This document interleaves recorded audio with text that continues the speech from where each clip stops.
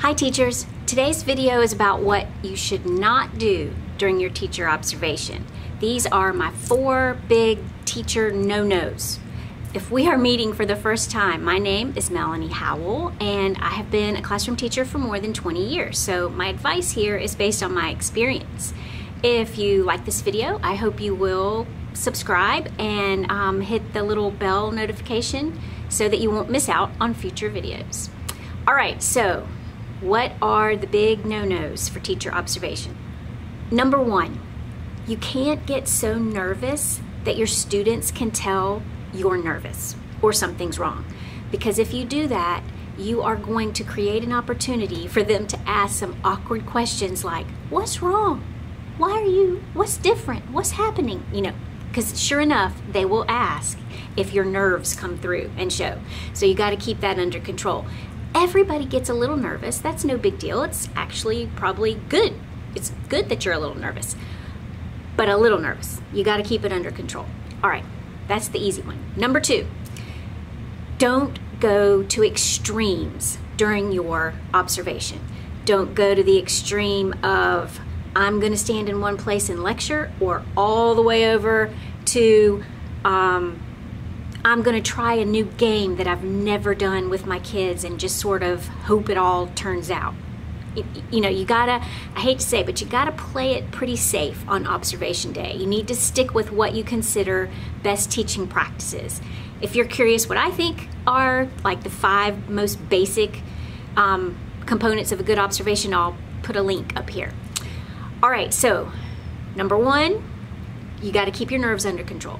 Number two, don't go to extremes and try brand new things or get so nervous that you stand in one place and you know forget forget that you're not supposed to lecture second graders for 25 minutes. All right number three this is the most important thing i think.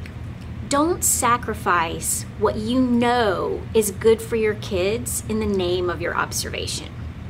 So what do i mean by this? Well actually this one kind of bit me in the rear a few years ago um, I had a student who I already, you know, was establishing, it was beginning of the year, we were establishing the report, and I already knew that he liked to play with little things in his lap and that his hands needed to be busy. But I also knew that he, if I called on him, he could still answer and he still knew what was going on. He was listening, he just didn't look like he was listening. So when he started, during my observation, when he started playing, I ignored it because that's what I usually do. However, the observer of my class thought I didn't know it was happening. So I kind of got called out on, well, you didn't even know, you know, in terms of behavior management, you didn't know this was happening.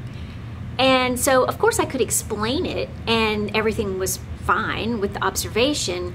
However, I learned that what I should have done was to maybe like close proximity so that the observer realized that I was aware, but I was still doing what was best for the child by ignoring the behavior because that's what we had already established. Yeah, so that happened. Another example could be this. Let's say during your mini lesson, um, you've got a few kids that it's obvious they're not quite with the the academic concept that you've been talking about and you're about to send everybody off to different areas of the room to work in small groups but you can tell that these two or three aren't are not ready for that. They need reteaching. So don't get so focused on your content that you sacrifice and just send those kids out to small groups that they're really not ready for because that's what's supposed to happen according to your lesson plan the administrator would rather see you be able to acknowledge what's happening in the room, monitor and adjust what you need to do. If those two or three need reteaching, then you send everybody to their groups and you work with that two or three for a minute, reteach, and then maybe they can move into groups, or maybe by the end they'll form their own group. However, it is you decide to do it. But your admin would rather see you monitor and adjust than just plow forward with what's written on your lesson plan. You should always do what's best for the kids, even if it comes back to bite you a little bit.